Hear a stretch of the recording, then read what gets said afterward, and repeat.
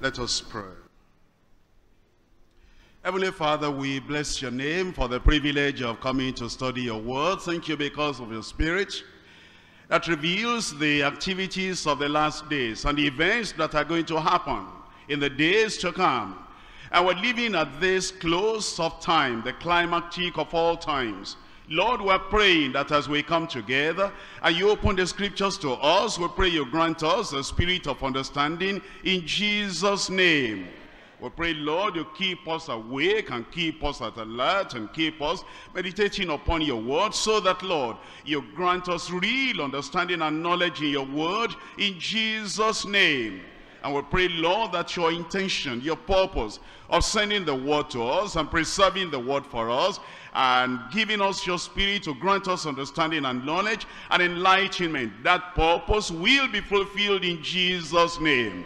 Lord, we know that many believers reading the book of Revelation do not have real understanding because these things are darkened before them. And of course, the unbelievers know nothing about the interpretation application of this word in this part of your book. But you have given us the privilege and the spirit that will interpret and enlighten us in this word. Therefore, Lord, we're praying today, you'll grant us a grateful heart and a receptive heart that will agree and that will receive all that the Spirit is revealing to us in this word in Jesus' name. And Lord, we pray that as we see these things uh, coming to pass, as we see these things approaching very fast, you help us to be very well prepared for the coming of the Lord. Thank you, Lord, because we know you have answered. In Jesus' name we pray. Amen. And the people of God said, Amen. I welcome you to the Bible study once again today. And young people, I welcome you to the Bible study. This is one of the greatest places you can ever be to really study the Word of God. And it's important to study every part of the Word of God. But you understand that the different parts of the Word of God have different values and different things they're revealing to us. For example, when you read in Genesis, you're reading history already done, already gone to pass. Because all those things are fulfilled already and you have stories there, illustrations there, examples there, and you have instructions there that will help you. This is how people did in the past, and this is how I can live my life today, so I can be in the center of the will of God. When you come to Job, for example, eh, you get some other kind of approach because you have the history of the man that has gone through a lot in life. And then he tells you how you can endure the sufferings and tribulations and trials that come upon you in life. You come to the Psalms and you're worshiping the Lord and praising the Lord and singing with the psalmist. When you come to the Proverbs, you're coming to some wisdom. And there are some sentences and instructions and directions and and directives that will give you the wisdom of life. And you come to Ecclesiastes and things under the sun, and then you begin to realize vanity of vanities, all this vanity. You come to the Gospels, and you're studying about the book of, of the history of the life and ministry of Jesus Christ here on earth. And it gives you another perspective of this revelation of the Word of God. You come to the Acts, and you're talking about the history of the church, the Acts of the Holy Spirit through the apostles of the Lord Jesus Christ. And then the epistles are explaining to you what it means, the death of Jesus and the burial of Jesus and the resurrection of Jesus and the implication for the people that believe today. But when you come to the book of Revelation, here is a future brought near.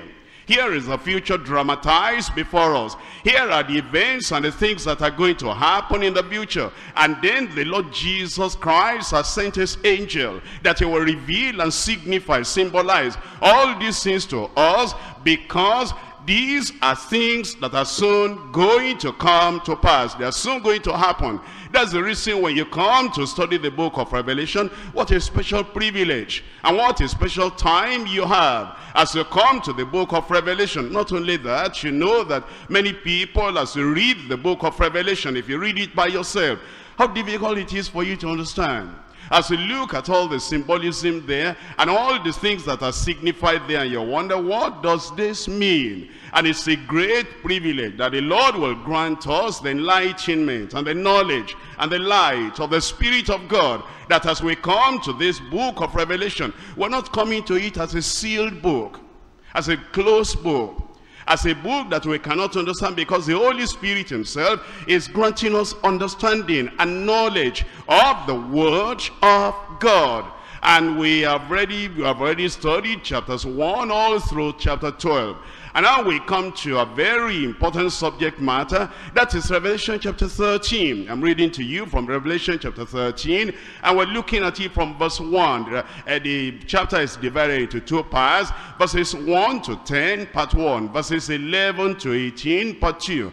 And it is the first part we're looking at today. Revelation chapter 13, I'm reading from verse 1.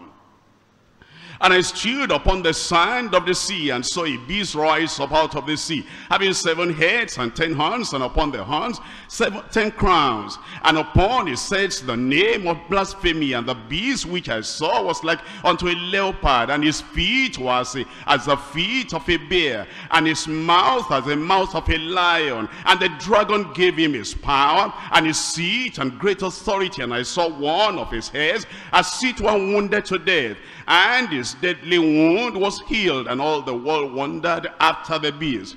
And they worshipped the dragon, which gave power unto the beast. And they worshipped the beast, saying, Who is like unto the beast, who is able to make war with him? And there was given unto him a mouth speaking great things and blasphemies. And power was given unto him to continue forty and two months. And he opened his mouth in blasphemy against God, and to blaspheme his name and his tabernacle and them that dwell in heaven. And it was given unto him to make war with the saints and to overcome them. And power was given him over all the kindreds and tongues and nations. And all that dwell upon the earth shall worship him, whose names are not written in the book of life for the Lamb slain from the foundation of the world. If any man has an ear, let him hear. He that leadeth into captivity shall go into captivity. He that killeth with the sword must be killed with the sword. Here is the patience, the perseverance, and the faith of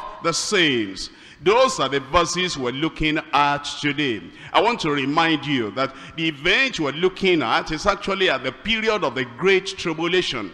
This is the time of the end. That is, this time we're looking at in the book of Revelation is the time of the end. The kingdom is about to be established. Actually, as you flip back in your Bible to Revelation chapter 11 verse 15, you will see, And the seventh angel sounded, and there were great voices in heaven saying, The kingdoms of this world are become the kingdoms of our Lord and of his Christ, and he shall reign. How long?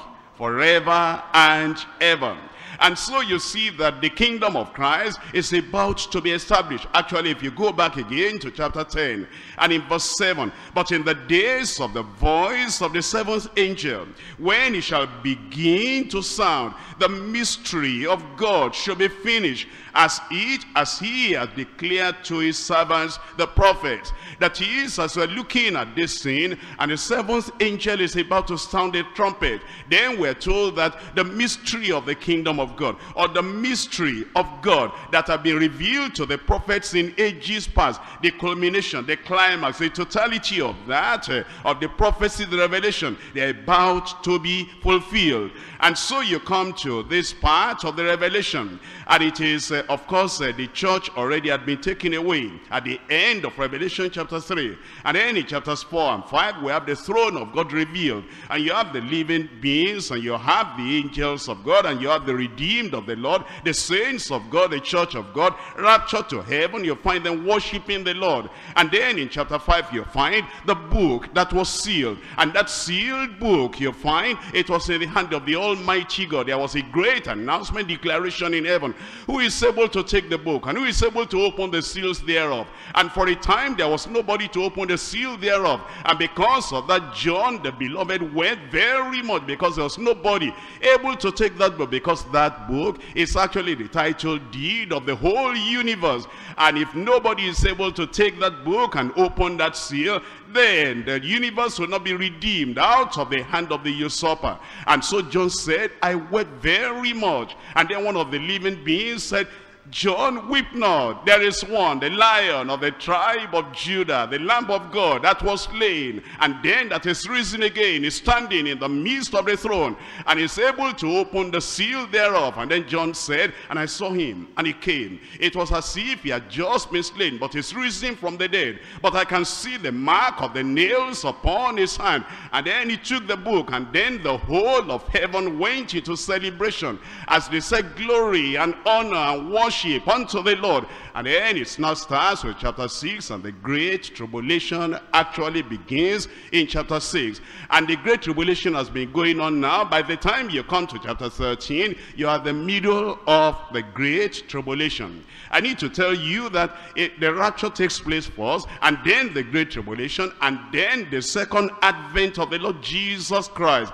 And it's the Prince of Peace that will bring peace into this whole world. But before that peace will come, there will be, first of all, the storm and the raging storm all over the world. Before the establishment of the millennial reign, when the Prince of Peace will, or the Prince of Peace will reign, there will be the great tribulation here on the earth and it's the storm before the calm and, and the prince of fierce countenance will come in the time of the great tribulation before the prince of peace. And that's the reason as we're reading this you see in the previous chapter that is in chapter 12 we have read of the seven-headed red dragon that was cast out of heaven and cast onto the earth and as he was cast from the heavenlies, that old serpent called the devil, Satan, he comes to the earth in great wrath because he knows that its time is short. In Revelation chapter 12, I'm reading to you from verse 9. Revelation chapter 12, reading to you from verse 9. Here it tells us, and the great dragon was cast out. Who is the great dragon, that old serpent called the devil and Satan, which deceiveth the whole world. He was cast out into the earth, and his angels were cast out with him. And I heard a loud voice saying in heaven, Now is salvation and strength, and the kingdom of God, of our God, and the power of his Christ, for the accuser of, the, of our brethren is cast down, which accused them before our God day and night, and they overcame him by the blood of the Lamb and by the word of their testimony. And they loved not their lives unto the death. Therefore rejoice, ye heavens, and ye that dwell in them. Woe to the inhabitants of the earth and of the sea, for the devil is come down unto you, having great wrath, because he knoweth that he has but a short time. At this time now, the devil has but a short time, just a short time. And because he has a short time, he comes with great wrath. When it says he has a short time, how short is that time? Well, we're told in that same Revelation chapter 12, if you look at Revelation chapter 12 verse 6, and the woman fled into the wilderness, where she has a, place prepared of God, they, that they should feed her there is 1,203 score days. 1, 2, 6, 0. If you divide that by 30, that means are going to have 42 months. And if you divide that by uh, 12, you're going to have three and a half years. In fact, as you look at uh, verse 14, it says, And the woman were given two wings of a great eagle that she might fly into the wilderness, into a place where she is nourished for a time, one year, and times two years, that makes three, and half a time, uh, three and a half years, from the space, from the face of the serpent. Come to Revelation chapter 13, reading verse 5. And there was given unto him a mouth speaking great things and blasphemies, and power was given unto him to continue forty and two months. 1,260 days, or 42 months, or three and a half years, a time, times and half a time. They all mean the same thing. That will be the period when the Antichrist will come into this world with great, great fury. That will be the last part of the great tribulation. And the earth will enter its final and greatest crisis, and the red seven-headed enemy of God, enemy of man, that is the dragon, the devil, Satan, will work his final malice and rage through two of his agents or representatives on earth. Those two representatives or agents on earth are described in chapter 13. In the first part of Revelation chapter 13, we have the description of the first one, and that is the Antichrist. And then the second part of the of chapter 13 describes the second representative of the devil. And that will be the final religious leader of this world is referred to in the book of Revelation as a beast out of the land. It is also referred to as the false prophet. I want you to look at chapter 13 verse 1 again. And I stood upon the sand of the sea and saw a beast rise up out of the sea. That's the first beast. That's the first representative of the devil, of the dragon.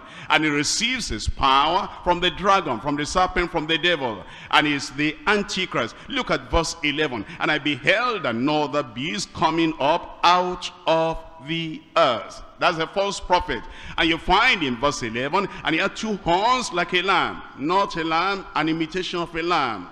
The devil is always trying to be a counterfeit the Lord Jesus Christ. Jesus is the real lamb, the lamb of God that takes away the sin of the world. And here comes a lamb, but inside ravening wool. And it says, I beheld another beast coming up out of the earth. And he had two horns like a lamb, and he spake as a dragon. The nature was the nature of a dragon, but the appearance was the appearance of a lamb. That's a false prophet right there. And these three, that is the beast rising up out of the sea, number one. And the second, the beast coming up out of the earth. Now the third, the dragon. They will walk together. And as they walk together, they will lead the world into the final rebellion against God. That will be at the time of the great tribulation. I'm praying you will not be here at that time that the Lord will count you worthy and count you righteous and holy along with the people of God, the saints of God, that when the saints go marching in just before the beginning of the great tribulation, you will be among the saints in Jesus' name. As we look at this today, the topic is the rise and the reign of the Antichrist. The rise and the reign of the Antichrist. I'm dividing the study to three parts. Number one, the personality and the satanic power of the Antichrist. When the Antichrist comes, it's described in great details in Scripture. And we're told about his personality. We're told about his attitude. We're told about his disposition. We're told about his activities. We're told about the power, the satanic power, by which he'll be operating in the world at that time. Then point number two, the profanity and the short period of the Antichrist. The blasphemy with which he'll blaspheme the name of God. And the blasphemy with which he'll blaspheme everything belonging to the holy God of heaven. The profanity, the blasphemy, and the short period of time that that antichrist will be able to operate on the face of the earth and then you come to point number three the program and the sealed perdition of the antichrist the program what he will carry out at that time and all the things he will do, all the program of activity from the day one that he comes on the scene until the very last day when he'll be defeated by the Prince of Peace, by the land of the tribe of Judah, by the Lord Jesus Christ, the real king, when he'll put him down. From day one to the final day of his operation, his program, and the sealed perdition of that Antichrist. Let's come back to point number one. The personality and the satanic power of the Antichrist. I'm reading to you again Revelation chapter 13 verses 1, 2, and 3. And I stood upon the sand of the sea and saw a great beast rising up out of the sea, having seven heads and ten horns, and upon his own ten crowns, and upon his heads the name of blasphemy.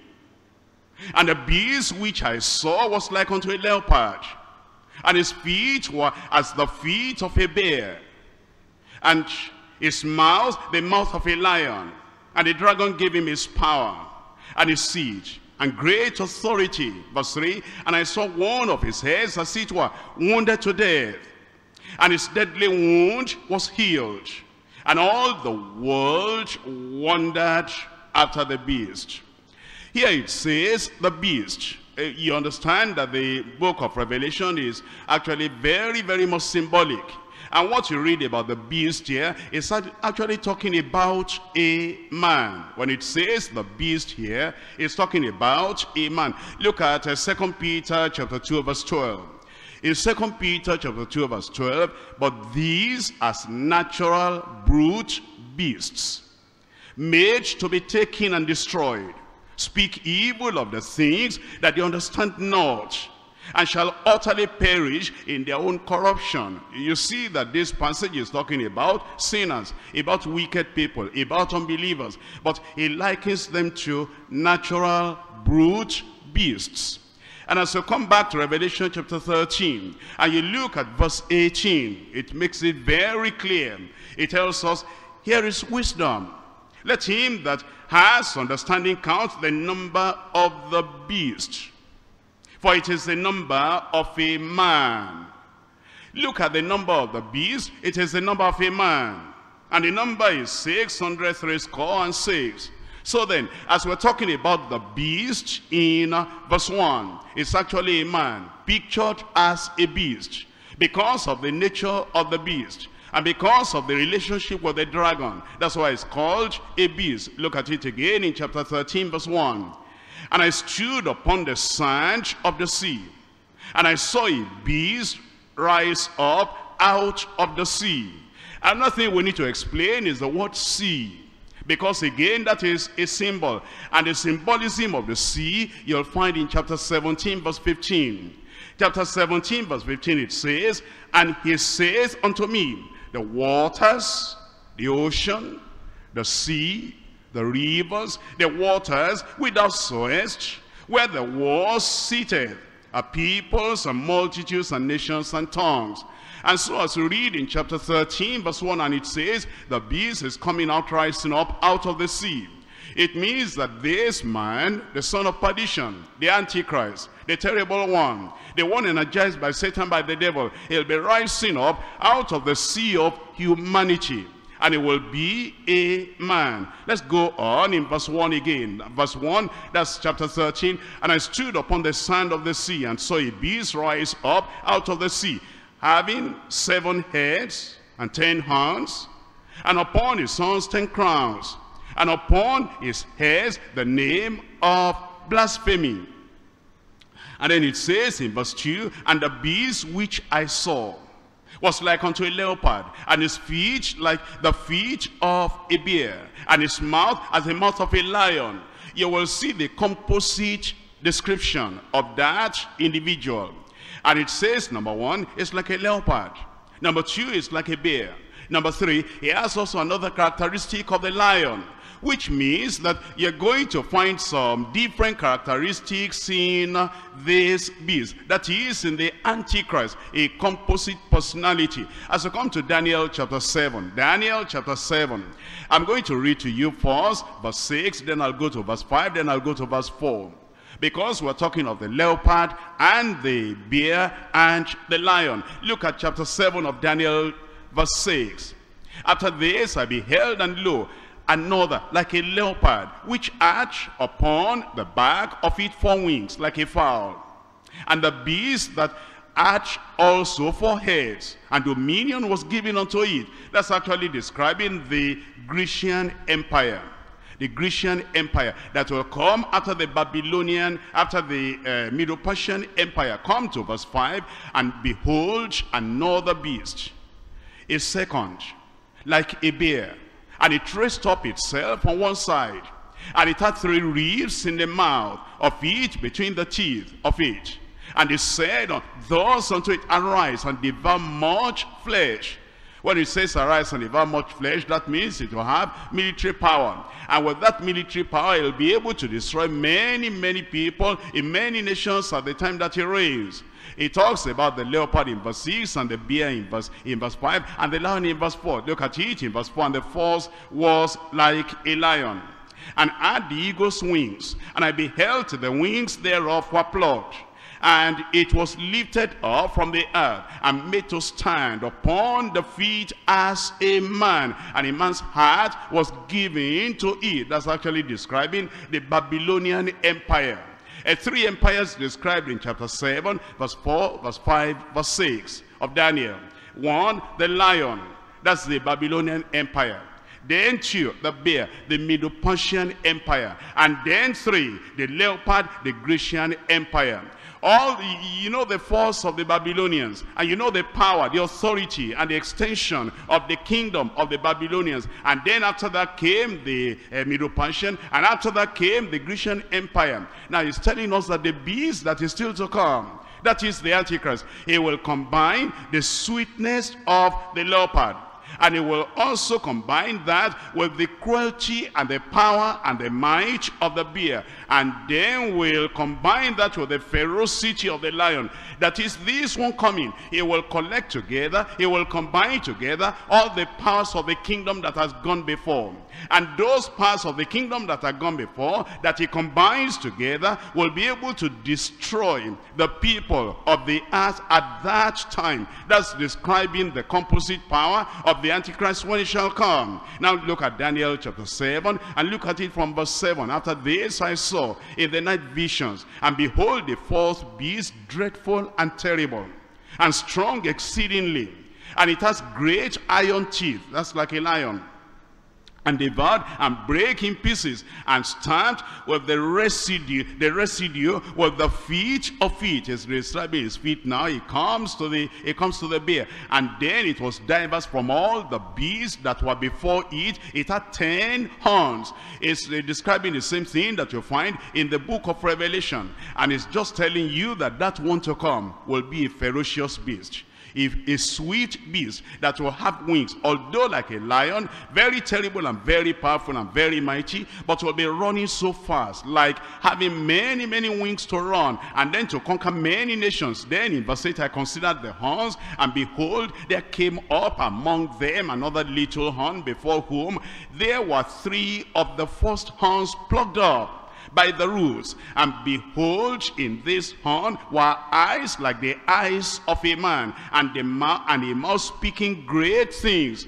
When he talks of the eyes of a man, he's talking of insight. He will see into things. He will have intelligence. And he'll be able to see very well. That's why he'll become, the Antichrist will be a great political figure and he'll be able to reason in commerce, in economy, in science, in technology, and be able to galvanize all the governments of the world together at some time. Because his horn, the horn describes strength. If you have seen some animals fighting one another, their strength is in their horn. They fight with their horn. And when he talks of the horn of the beast, he's talking of the strength of that Antichrist.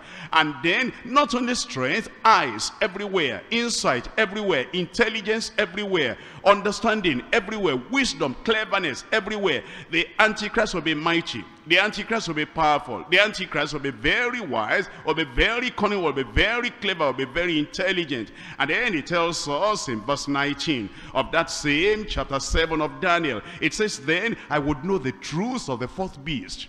I wanted to know the indication and the meaning. I wanted to understand the truth about this fourth beast that is terrible, which was diverse from all the others, exceedingly dreadful, whose teeth were of iron, and his nails of brass, and which devoured and brake in pieces and stamped the residue with his feet. And of the ten horns, I wanted to have understanding, that in his head, and of the other which came up, and before whom three fell, even of that horn that had eyes, that had intelligence and understanding, and a mouth that spoke, that speak uh, great, very great things, that is speaking blasphemy against the God of heaven, whose look was more stout, more terrifying, terrorizing than his fellows. And I beheld, and the same horn made war with the saints and prevailed against them. That he said, this Antichrist will fight against the children of Israel, the saints, and will fight against anyone that will believe on the Lord Jesus Christ at that time. Because the Antichrist will not be here to play with people. He'll be here to fight with the nations and the tongues and the languages and everyone. And he will, he will defeat them in a very terrible way. Verse 25. And he shall speak great words against the Most High. That's a blasphemy. We read about that in Revelation chapter 13 verses 1 to 3. That this Antichrist, the beast that is coming, he will blaspheme the name of the great God of heaven. That's what Daniel is saying in chapter 7 verse 25. And he shall speak great words against the Most High and shall wear out the saints of the Most High and think to change times and laws. That Antichrist, he'll want to change everything that had been before him. And they shall be given into his hand until a time and times and the dividing of a time. A time, one year. Times, two years. That makes three. And a dividing of time, half a year. That means three and a half years, we've been talking about it. In Daniel chapter 8, verse 23. Daniel chapter 8, verse 23. And in the latter time of their kingdom, when the transgressors are come to the full, a king of fierce countenance and understanding dark sentences shall stand up as you compare the scriptures with scripture and as you merge all the scriptures together it's still talking about the same person but it clarifies some things for you. Number one it says in the latter time of their kingdom in the latter part of his reign that is, there will be seven years of the great tribulation. But the last three and a half years, the latter part, will be a terrible time. And then it says, when the transgressors are come to the full, that is, the people that are transgressing, the sinners of that time, they will come to the point of madness. And they will be so drunk with their evil. And the transgressors will come to the full. And then it says, a king of fierce countenance. That's the Antichrist. That's the beast. That's this terrible one we're studying about today. Having understanding dark sentences. That's why, that's why it says, his horns are full of eyes. Eyes for understanding, eyes for intelligence, eyes for knowledge. And it says over here, understanding dark sayings, he shall stand up. And in verse 24 it says, and his power shall be mighty but not by his own power because it is Satan the dragon that will give the beast the power. That's why it's saying not by some power. And he shall destroy wonderfully. That means he, he will destroy in such a way that people will wonder at him he will destroy with such swiftness and with such a fastness that people will wonder at it. And then it says, and shall prosper and practice. That is, he will succeed in his wars against the people of God and against all the nations of the earth at that time and shall destroy the mighty and the holy people, the children of Israel.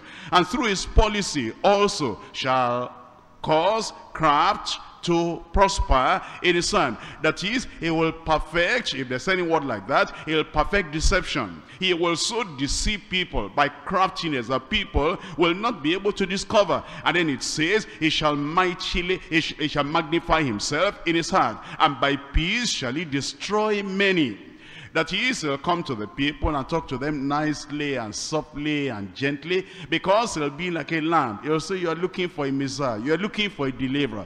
You're looking for somebody to galvanize all the governments of the world and unite them and bring them together. He'll say look at the economy going down and look at all the unions who are forming and those unions are not working at all. But I have come so that everything will be so done you'll be surprised how the results will come. And then he will deceive them by that kind of peaceful talk. And then it says, and he shall also stand up against the prince of princes. When Christ eventually will come at the end of the great tribulation, this Antichrist, he will want to withstand eh, the, the Prince of Peace, the Prince of Princes, but he, the Antichrist, shall be broken without hands.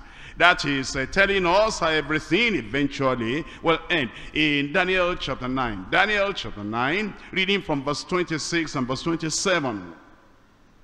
And after three score and two weeks, shall the Messiah be cut off that's talking about the crucifixion of the Lord Jesus Christ. It's been talking about it from verse 25, actually from verse 24. And then it says, but not for himself. His death is not because he has sinned. The death of the Messiah is for the sins of the world and the people of the prince that shall come, shall destroy the city and the sanctuary. The prince that shall come, that's the beast we are studying about. That's the prince of fierce countenance. That is the Antichrist. He shall come and he will destroy the city and the sanctuary. And the end thereof shall be with a flood. You remember we studied that. The flood is a flood of armies. And then it says unto the end of the war, desolations are determined. And he shall confirm the covenant with many for one week. That is when the Antichrist comes, he'll say, just seven years, I'll be through. Seven years, I'm going to have this covenant with you and the people of Israel. And all these problems between the Palestinians and the Israeli people and the Middle East, I'll settle everything within seven years of a surprise. It will be a marvel to you, the kind of peace I'll bring to the Middle East. And everybody is looking for peace in the Middle East. And they want Israel and the Palestinians and everybody to, to live together in fellowship and friendship and unity. And so they'll fall for that. And then it says, in the middle of the week, three and a half days, representing three and a half years, shall he cause the sacrifice and the oblation to cease. No more worship of God. And he'll say, now there's an edict, there's a law. Anybody that calls on any other God, I'll deal with him. And then for the overspreading of abominations, he shall make each desolate, even to the consummation. And that determined shall be poured upon the desolate. It will be a time of Jacob's trouble, a time of real suffering when this uh, prince of fierce countenance shall come, that is the Antichrist, that is the beast we're studying about in Revelation chapter 13. Look at Daniel chapter 11, reading from verse 36. Daniel chapter 11 from verse 36. And the king shall do according to his will. It's talking about the Antichrist. He will be a law to himself. Anything he wanted to do, he will do. Because he will not have any regard for God. He will not have any regard for any man and he will not have any regard for any law of any nation. He, the king, shall do according to his will, and he shall exalt himself and magnify himself above every God, and shall speak marvelous things against the God of gods. He will blaspheme. And he'll put the name of God down, and then he shall prosper till the indignation be accomplished. For that that is determined shall be done. That is, all these things that are prophesied, they are determined already in the calendar of God. It shall be done. In verse 37, neither shall he regard the God of his fathers. He will not want to worship the God of heaven. Why would he want to worship the God of heaven? He wants to be a God himself. And then he says, and the desire of, not the desire of women. What do you think that means? In the land of Israel, many, many years after they had heard about the prophecy of Isaiah, a virgin shall conceive, conceive and be a child, and shall bring forth a son, and thou shalt call his name Emmanuel. It became the desire of every woman in Israel Oh God, if you'll choose me, maybe I'll be that virgin. Maybe I'll be that one that will bring in the desire of the nations, that will bring in the Messiah. And then it says, he will not have regard for the desire of women. That he shall not have regard for the Messiah, for, for the Lord Jesus Christ that came as a fulfillment of the desire of the women. Nor regard for any God. For he shall magnify himself above all He'll magnify himself above the Most High. He'll magnify himself above the Lord Jesus Christ. He'll magnify himself above the nation of Israel, the saints of God. In verse 38, and in his estate shall he honor the God of forces. The only thing he will know is power, might, army, force.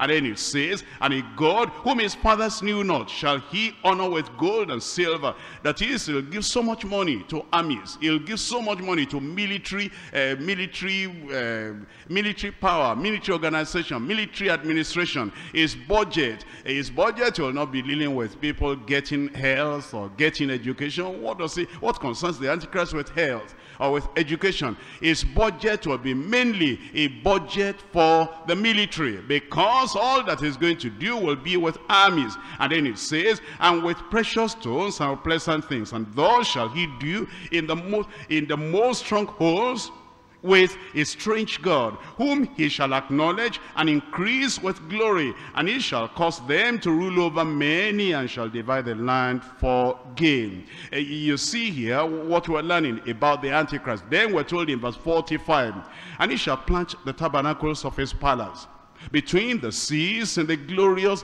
holy mountain. Yet he shall come to his end, and none shall help him. The devil will come to an end the Antichrist will come to an end. And then Jesus Christ will reign forever and ever. You have seen in this part, let's come back to Revelation chapter 13. You have seen how John said, he stood upon the sand of the sea. And then as he looked, they saw the beast rising up out of the sea. And then he saw that this beast was a monstrous beast, terrible, a terrible creature. That he saw in the beastly form this last world political power that shall rule all over the nations of the world at the end of time.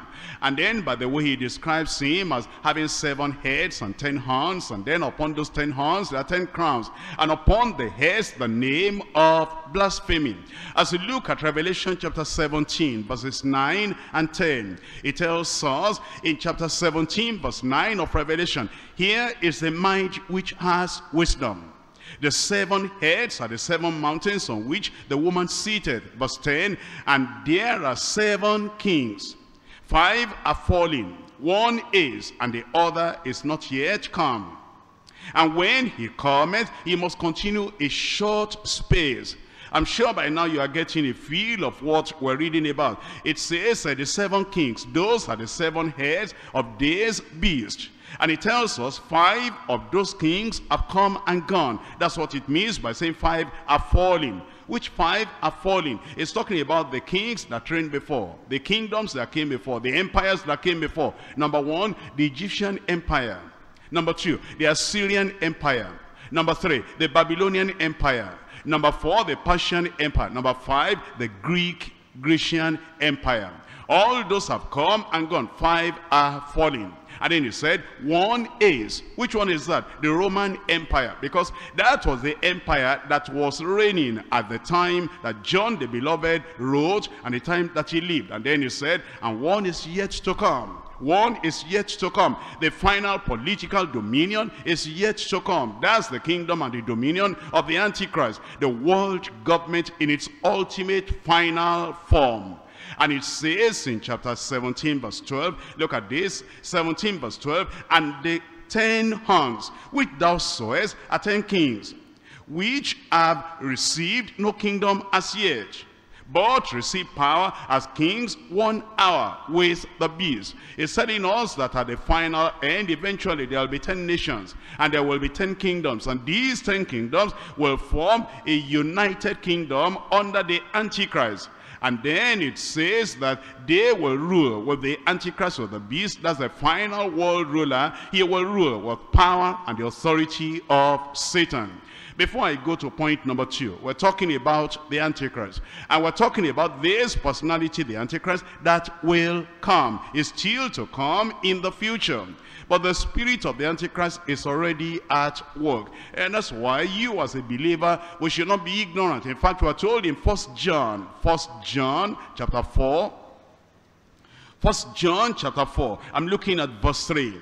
Every spirit that confesses not that Jesus Christ is come in the flesh is not of God. This is the spirit of the Antichrist. We whereof ye have heard that it shall come. And even now already is it in the world. The Antichrist is coming.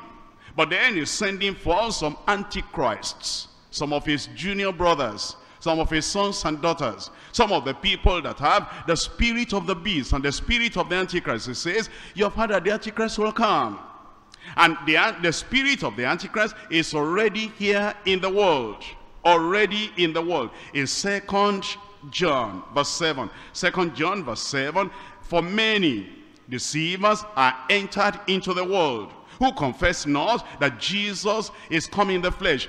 This is a deceiver and an antichrist. It says there are many in the world already, and they are operating with the spirit of the antichrist. In First John chapter 2 verse 18, little children, it is the last time. And as ye have heard that the antichrist shall come. You have heard that the antichrist should be with a capital A, the final one, the final political power the one that will galvanize all the governments of the world together, the one that will rule with, uh, with real force and wickedness. You have heard that he will come, the Antichrist. And then it says, even now there are many Antichrists. Even now are there many that have the spirit of the Antichrist. It says, whereby we know it is the last time. In Second Thessalonians chapter 2. Second Thessalonians chapter 2, I'm reading to you from verse 3. Second Thessalonians chapter 2 verse 3, let no man deceive you by any means. For that day shall not come, that is the final day of the coming of Christ, will not come except there come a falling away first. How will that falling away first? How will it happen?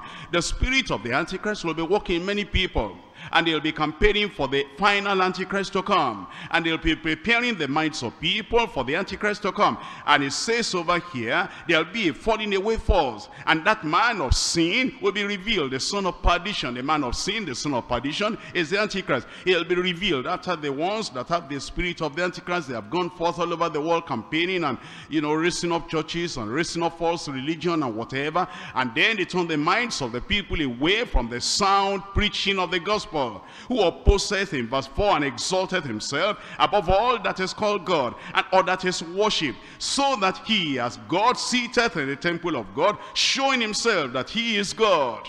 When the Antichrist eventually comes, he'll say, don't look for God anywhere. He'll say, he is there and he is the God. He is the God that the people are to worship. Remember ye not that when I was with you, I told you these things, and now ye know what withholdeth that he might be revealed in his time. You know why the Antichrist has not come in full force right now? There is something, there is somebody withholding him, delaying him, hindering him. In verse 7, for the mystery of iniquity does already work. That is, the spirit of the Antichrist already at work. And you find that in the minds of people, they are against Christ. They're against the gospel of Christ. They're against the pattern of the life of Christ. They're against the ministry of Christ. Their mind, their hearts is tuned against the Lord. And it is a spirit of Antichrist working in them. It is a mystery of iniquity that's ready at work. Only he who now letteth, hindereth, will let, will hinder, until he be taken out of the way. Because the church is still here. Because the bride of Christ is still here. That is why the Antichrist is not given the permission, the allowance to, to go out full in full force. And then in verse 8, and then shall the wicked be revealed after the church is gone after the rapture has taken place. Then shall the Antichrist, that wicked one, that prince of fierce countenance, that wicked one shall be revealed, whom the Lord shall consume with the spirit of his mouth, and shall destroy with the brightness of his coming. Even him whose coming is after the working of Satan. Do you remember what we are reading in Revelation? That that beast the Antichrist. It is a dragon, the old serpent, the devil, Satan, that gives him the power to operate. That's exactly what he's saying here. Him, the Antichrist, whose coming is after the working of Satan with all power and signs and lying wonders and with all deceivableness of unrighteousness in them that perish because they receive not the love of the truth that they might be saved and for this cause God shall send them strong delusion, that they should believe a lie, that they all might be damned who believe not the truth, but have pleasure in unrighteousness. Well, we've studied about the Antichrist that is coming. Let's, let's go further now and look at the profanity and the short period of the Antichrist. In Revelation chapter 13, Revelation chapter 13, I'm reading to you from verse 4 through to verse 6.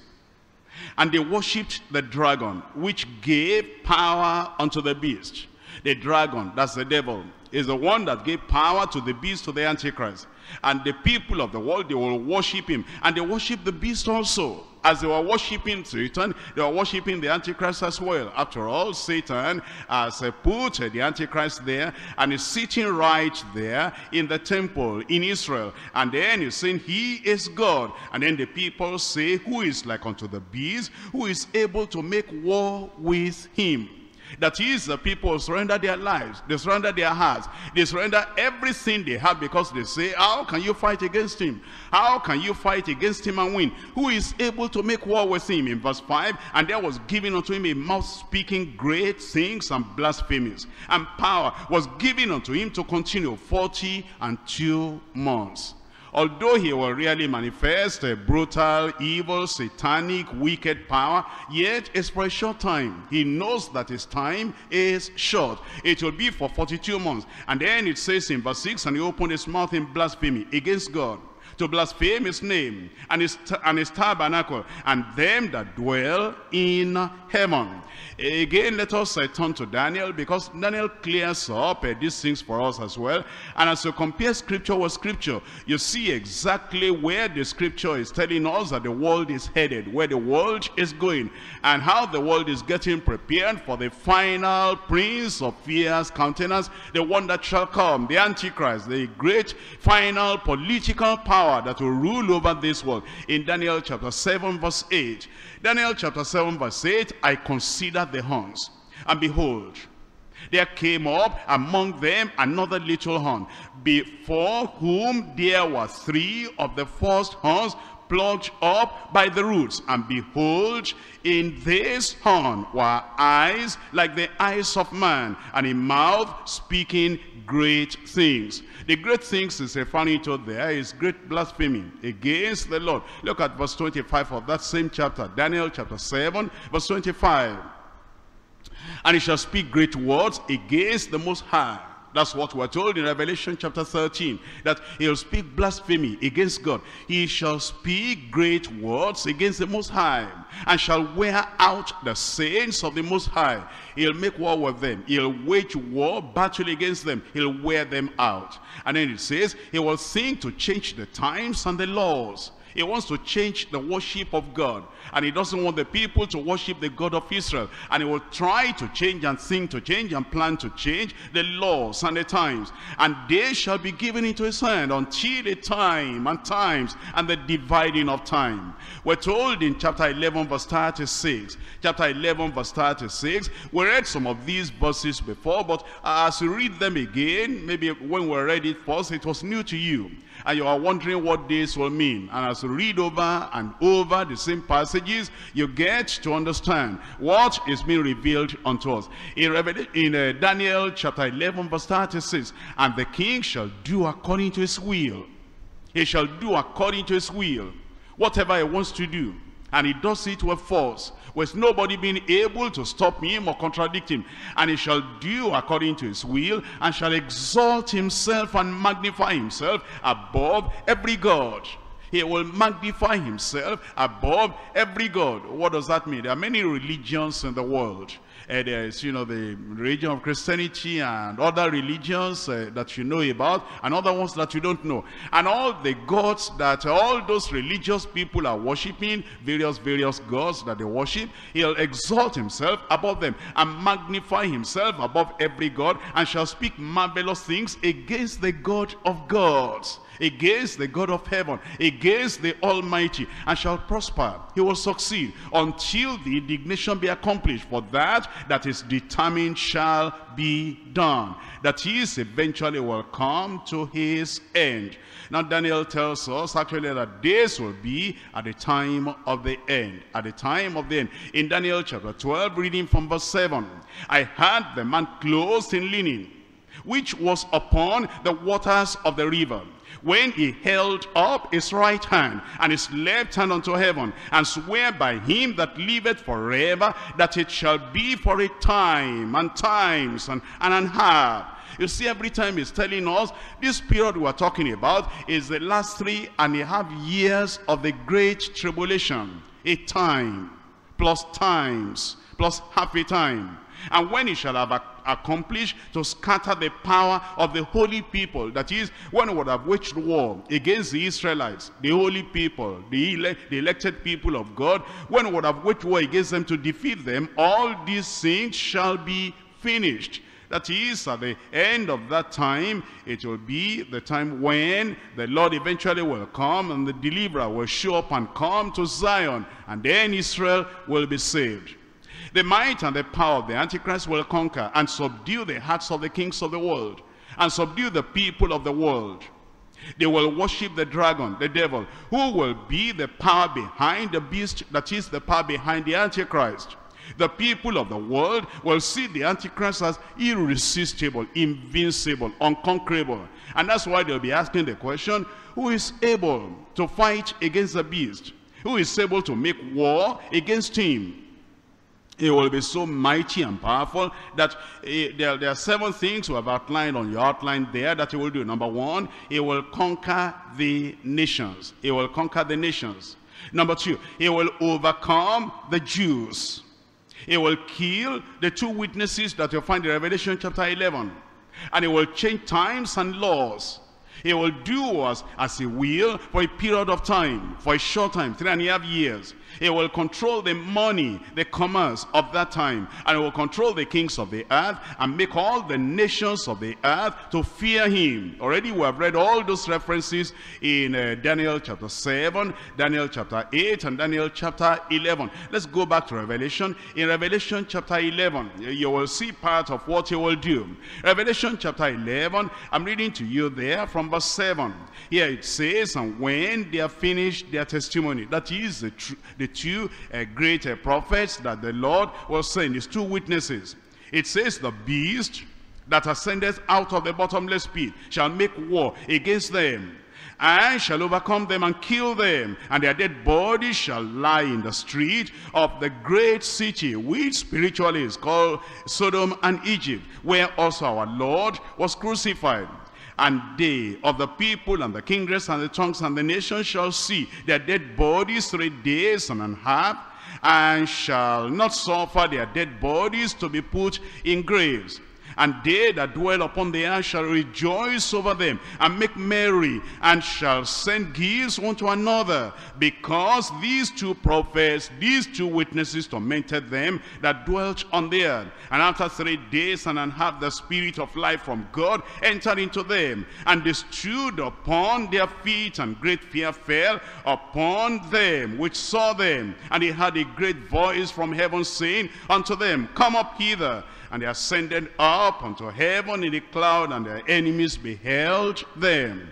And so you see that at that time, the Antichrist will really do terrible, terrible things. As we come to Revelation chapter 13, and we look at verse 17, the Antichrist together with the, uh, together with the false prophet, in, in, conjunction with the dragon, the devil. Uh, they will control the commerce of this world. Revelation chapter 13 verse uh, 17. And no man might buy or sell except save he that had, that had the mark or the name of the beast or the number of his name and will control the kings of the earth and make them afraid in verse 4. And they worship the dragon, which gave power unto the beast. And they worship the beast, saying, Who is like unto the beast? Who is able to make war with him? In verse 7, and it was given unto him to make war with the saints, with the people of Israel, and to overcome them. And power was given unto him over all the kindreds and the tongues and nations.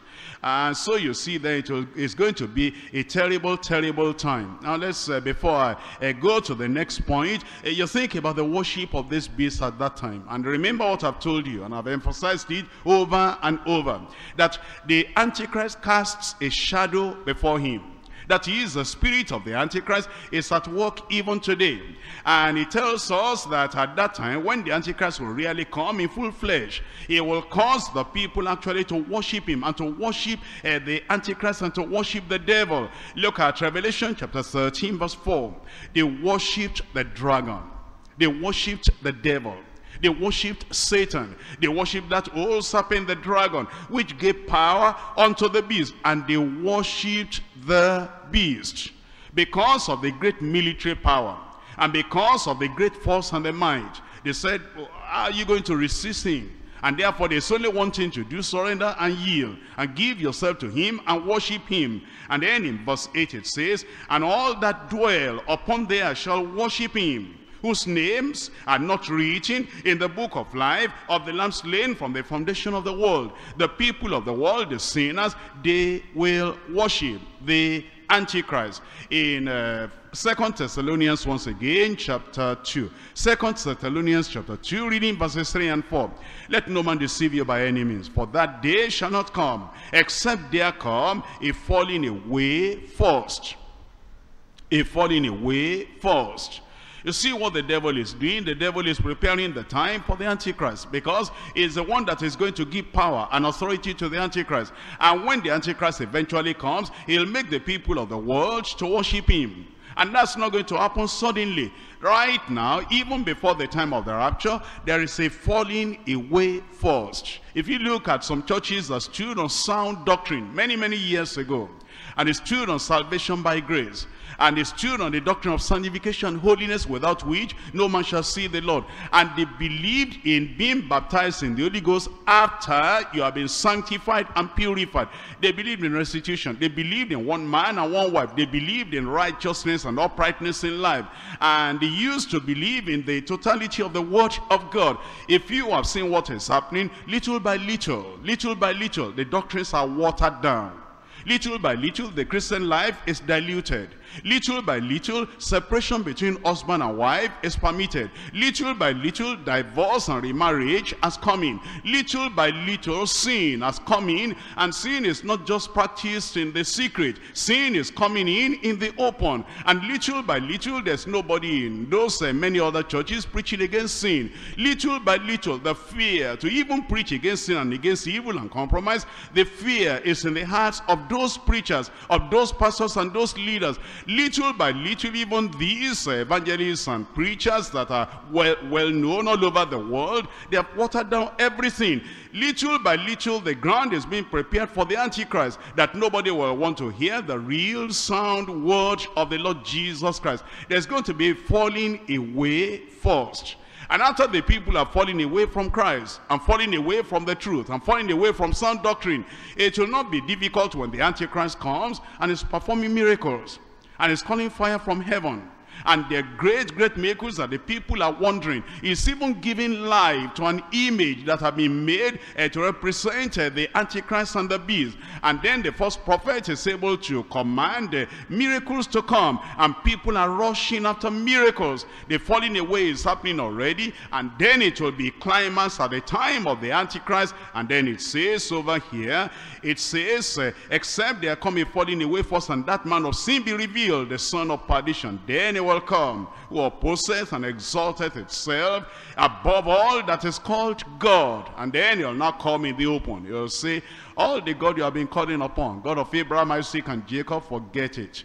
The God you've calling upon, the Father of the Lord Jesus Christ, forget it. He is the one. And then he sets himself there. And because the people have been falling and falling and falling, and they have come to this climax now, it will not be easy for them to resist. They will worship him. And then he says, or oh, that is worship, so that he has God seated in the temple of God, showing himself that he is God, is the one that they are to worship.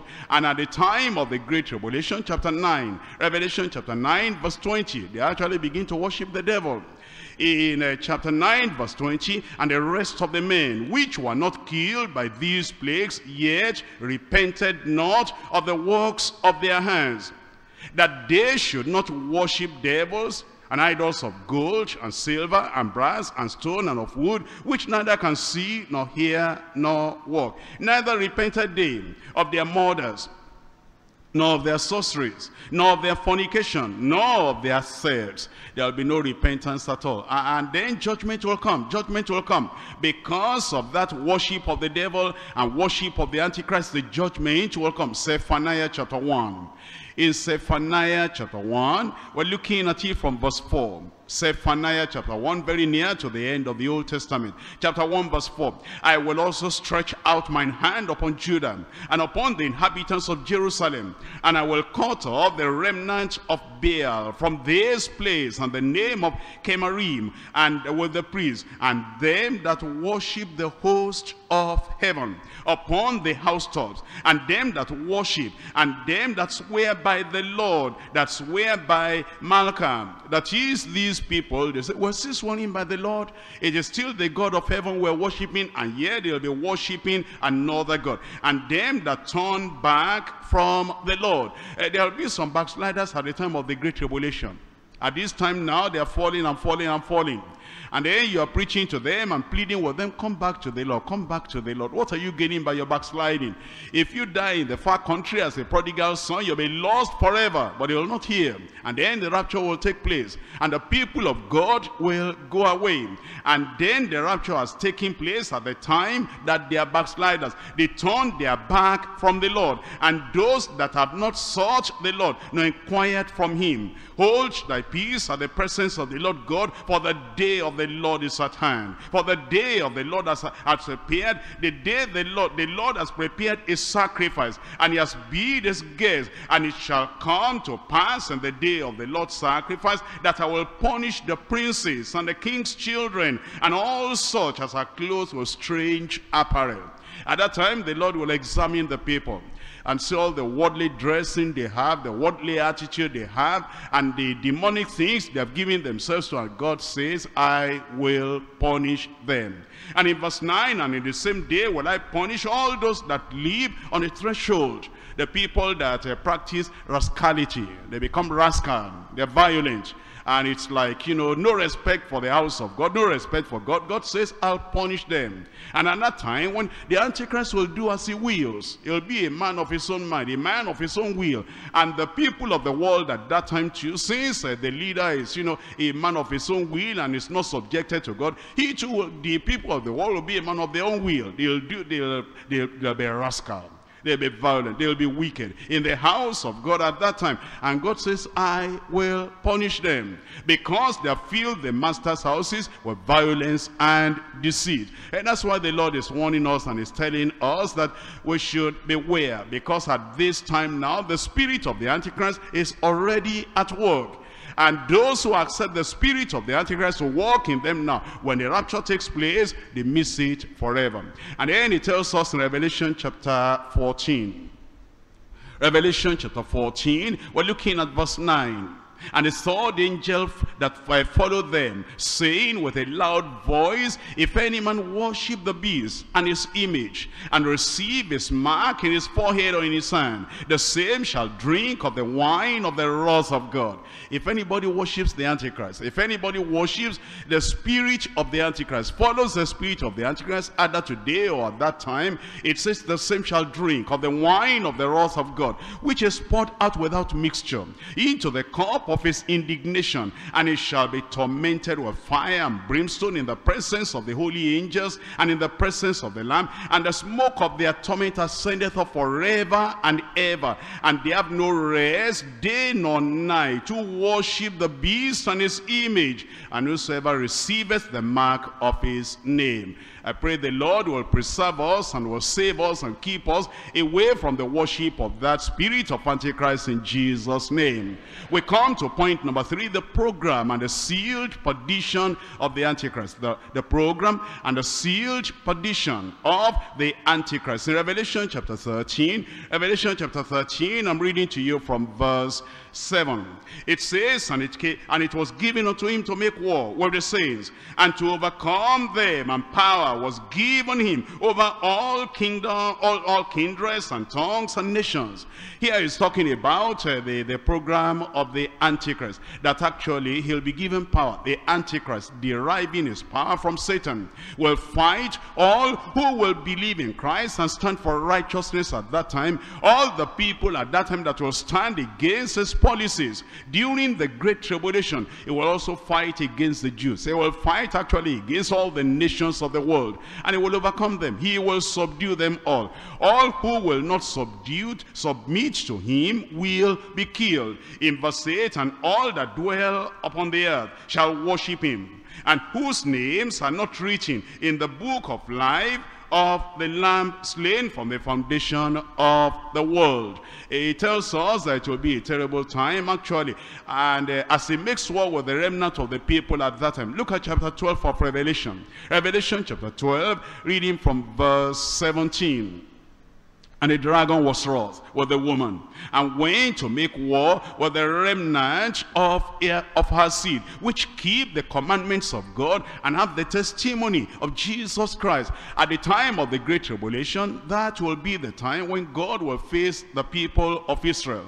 I'm sure you understand that this is majorly now the time of the Gentiles. We are Gentiles. All people that are not Israelites are Gentiles. And at this time, we have the privilege as Gentiles to believe on the Lord and to stay with the Lord. And the Jewish people now, they are not believing the Lord after the rapture has taken place and the Gentile church will have been taken away. Then the Lord will face the children of Israel. At that time, they'll believe in God and they'll believe in the Lord Jesus Christ. That's what it says in that Revelation chapter 12 verse 17. The remnant of the seed of the woman. That is, some of the Jewish people, they keep the commandments of God. They are born again. They are saved. They have changed lives. And they have the testimony of Jesus Christ. Look at Romans chapter 11. Romans chapter 11, reading from verse 25.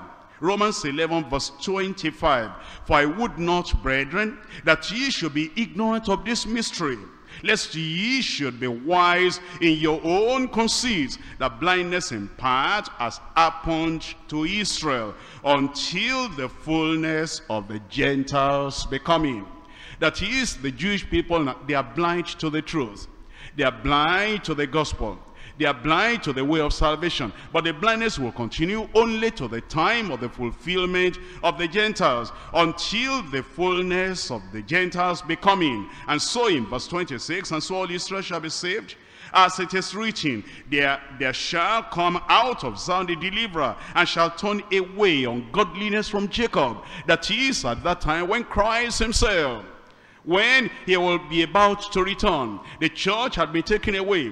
And those uh, Jewish people, they are suffering under the terror of the Antichrist. At that time, will they call upon the Lord. And then the deliverer will come for them. The Savior will come for them. Then it says in verse 27, For this is my covenant unto them that I shall take, I shall take away their sins. Then he tells us that at that time, the devil will fight them, the Antichrist will fight them, but they will keep on and remain with the Lord. It tells us in Daniel once again, we go back to Daniel, and we're looking at Daniel chapter 7. I'm reading from verse 21. Daniel chapter 7, I'm reading from verse 21 in Daniel chapter 7, verse 21, it tells us, And I, be, I beheld the same horn made war with the saints, and prevailed against them. It's talking about the war that will fight, that the Antichrist will fight against the saints of God, against the people of Israel, and he will prevail against them until, in verse 22, the Ancient of Days came, and judgment was given to the saints of the Most High. And the time came that the saints possessed the kingdom. Thus he said, the fourth beast shall be the fourth kingdom upon the earth, which shall be diverse from all the kingdoms, and shall devour the whole earth, and shall tread it down, and break it in pieces and the ten horns out of this kingdom, and the ten kings that shall arise, and another shall rise after them, and it shall be diverse from the first, and he shall subdue three kings. In verse 25, and I shall speak, he shall speak great words against the Most High, and shall swear, shall wear out the saints of the Most High, and think to change times and laws, and they shall be given into his hand until a time and times and the dividing of time. And so you see that at that time, when this uh, fellow will come, he will fight against the people of Israel and he will overcome some of them. But thank God, he will not overcome everybody. I said, thank God he will not overcome everybody. In Revelation chapter 15, reading from verse 2. Revelation chapter 15, reading from verse 2. It tells us, and I saw a seat where a sea of glass, mingled with fire, and them that had gotten victory over the beast, and over his image, and over his mark, and over the number of his name, stand on the sea of glass, having the harps of God, and they sang a new, and they sang the song of Moses, the servant of God, and the song of the Lamb, saying, Great great and marvelous are thy works, Lord God Almighty. True and uh, just and true are thy ways, thou King of saints. Who shall not fear thee, O Lord, and glorify thy name? For thou only art holy, for all nations shall come and worship before thee. For thy judgments are made manifest. There will be those who will believe on the Lord, and they will stand. On that final day, they will stand and they will not uh, be allow themselves to be destroyed by the evil one. They will not allow themselves to be uh, conquered by the evil one. Whatever persecution will come, they will stand. But please understand, we're talking majorly about the Jews. Don't say, well, if I don't uh, get through now, if I don't get saved now, later at that time, I'll do my best and get saved. If you're not able to make it now, when there's freedom of religion. You are not able to make it now. When we're able to come together and study the Bible, you are not able to make it now. When we can pray together with you, you are not able to make it now. When there are thousands of believers all around you, are you going to make it at that time? When the Antichrist will force everybody to worship him. And when you'll not be able to buy or sell, except to take the mark of the beast. If you are going to get saved, here is the time. That's why the Lord is saying in chapter 13 of Revelation. Chapter 13, Revelation, verse 9. If any man have an ear, let him hear. If anyone has ear to hear, let him hear. Eh, you have heard the word of salvation and the word of the gospel, the word of repentance, the word of restitution, and the word of righteousness, holiness without which no man shall see the Lord. If you're going to get saved and get sanctified and get holy, this is the time. Tomorrow may be too late for you. In verse 10, he that leadeth, he that leadeth into captivity shall go into captivity. If you lead any other person to captivity in sin, if you lead anyone to backsliding, if you lead anyone to fall, if you discourage anyone from getting saved, he that leadeth into captivity shall go into captivity himself. If at this time of preparing for the coming of the Lord, so we can make it at the rapture. If you lead other people into captivity and they become caged in the in the cage of the devil, and they're not able to stand for the Lord, you too, if you hinder if you hinder other people from making the rapture, you cannot make it. And then it says, He that killeth with the sword must be killed with the sword. It says, Here is the patience and the perseverance and the face of the saints. And let me follow through with you on this word. He that has ears to hear, let him hear. Who are those people? The people that have ears to hear, it's not everybody that hears. In Isaiah chapter 42, Isaiah chapter 42, I'm reading to you from verse 20. Isaiah chapter 42, reading from verse 20. Seeing many things, thou observest not opening the ears, but he heareth not. And that's why the Lord is saying, we're studying this about the Antichrist, and the Antichrist is coming. And it's going to be a terrible time. And the Lord is saying, wake up, be at alert, see what you need to see, hear what you need to hear. He that has ears, let him hear. And then he says, there are even people that are trying to open the ears of other people. That's people like me, people like preachers, pastors, teachers of the word of God. They preach. And they try to make other people understand.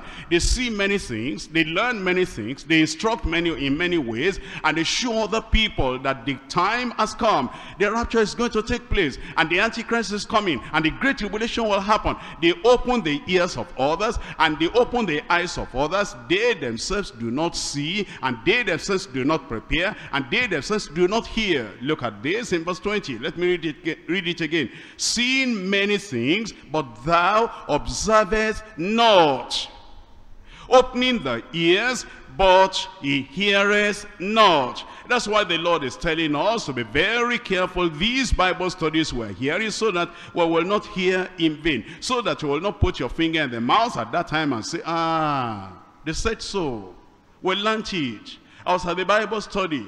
Why didn't I take note? I had ears. Why didn't I hear? Look at Matthew chapter 11 verse 15. Matthew chapter 11, I'm reading from verse 15. Here Jesus said, He that has ears to hear, let him hear. This is the time to hear the word of God. This is the time to give yourself to the Lord. He that has ears to hear, let him hear. Mark chapter 4. In Mark chapter 4, I'm reading from verse 23 and verse 24. Mark chapter 4, verse 23, verse 24. If any man have ears to hear, let him hear. And he said unto them, Take heed what ye hear. Take heed what you hear. All that you have heard today, all you have been hearing in the Bible study, take heed to these things that you are hearing. Revelation chapter 2. In Revelation chapter 2, I'm reading from verse 14. Revelation chapter 2, verse 14. But I have a few things against thee, because thou hast there them that hold the doctrine of Balaam, who taught Balak to cast a stumbling block before the children of Israel to eat things sacrificed unto idols and to commit fornication. The Lord is saying, yes, you are hearing the word of God. Yes, you are coming to church. And yet I have a few things against you. And in verse 15, so as thou also them that hold the doctrine of the Nicolaitans, which I hate, repent. Or else I will come unto you quickly and will fight against them with the sword of my mouth. He that has an ear, let him hear by the grace of God we will hear. I said we will hear. Already we have learned today that judgment is coming. And the question is, where will you be on that day? When the rapture takes place, where will you be? Will you be among the number, among the people that will go with the Lord? Or will you be left behind to face the terrors and the wrath of God and the indignation of the devil at the time of the great tribulation? When judgment day is drawing near, where will you be? When the great tribulation time arrives, where will you be? And when the when men and women themselves, when they are forced to worship the Antichrist and the beast, where will you be at that time? How will it be with your poor soul? When the wicked men, God's wrath shall see, where will you be? And when rocks and mountains flee, where will you be? When the hills and the mountains flee away, where will you be? When all the works of men are burnt in fire, where will you be on that day? When heaven and ash I will roll away like a scroll, where will you be? And when, where will you be? When God in anger shall bring his wrath and indignation upon this world, where will you be on that day? And when all the saints of the redeemed shall stand forever blessed at God's right hand, where will you be? When all all troubles are over and all the conflicts are past and the saints of God are rejoicing in heaven where will you be when the dragon and the beast are cast into the lake of fire? Where will you be when Christ shall reign from shore to shore and peace abideth forevermore. Where will you be? Rise up and answer to that question, where will you be on that day? The Lord is coming. The judgment is about to fall right now. And the great tribulation is about to start. After the rapture has taken place, the rapture can take place anytime from now. Where will you be on that day? Where will you be on that day? Where will you be on that day? Are you ready? Are you ready? Are you ready for the judgment day? Are you ready for when that day will come? You have heard it over and over and over. Are you making yourself ready or are you careless? Are you careless? Remember, as it was in the time of Noah, so shall it be when the Son of Man shall come. They were eating and drinking, marrying and giving in marriage, and they were planting and they, they were reaping, and yet the judgment came upon them unawares. Where will you be on that day? Are you careless with Christianity now? Are you careless with Christ now? You are hearing the word of God and you are not responding, and you are not born again. How will you escape if you neglect the great salvation? There's a great day coming, a great day coming. There's a great day coming by and by when the saints and the sinners shall be parted right and left. Are you ready for that day to come? There's a sad day coming. A sad day coming. There's a sad day coming by and by. When the sinner shall hear his doom depart, I know you not. Are you ready for that day to come? Are you ready? Are you saved? Are you ready? Are you sanctified?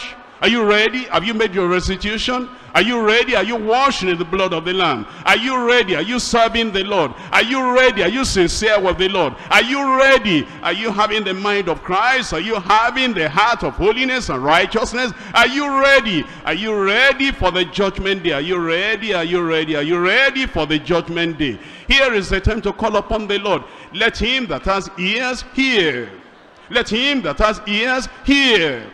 Let him that has ears, you have ears to hear the warning. You have ears to hear the sound of the trumpet. Let him that has ears hear. Hear the word of God. The judgment day is about to come and uh, you have learned about it already you've seen all of it already and the lord is telling you it can come anytime from now it can come anytime from now call upon the name of the lord if you have not been saved give your heart to the lord and be saved today If you have not been born again, give yourself to the Lord and be born again today. If you have not been sanctified and you still have that old Adamic nature and that uh, heart that is stubborn against the will of God, revelation of the word of God, come unto the Lord today and say, Lord, I give myself to you. Lord, I surrender myself to you. And if you are still following the way of the spirit of the Antichrist, that is the way of violence and the way of wickedness. Remember, remember, all the people that operate their lives on the basis of the spirit of the Antichrist, they will not make it on that final day when the trumpet shall sound. And the dead in Christ shall rise, and the people of God shall be raised incorruptible and go to heaven. Only the people that have the mind of Christ, not the spirit of the Antichrist, will be able to make it on that day. Where will you stand? Where will you stand? Where will you be when that day will come? Certainly it will the Lord before you go.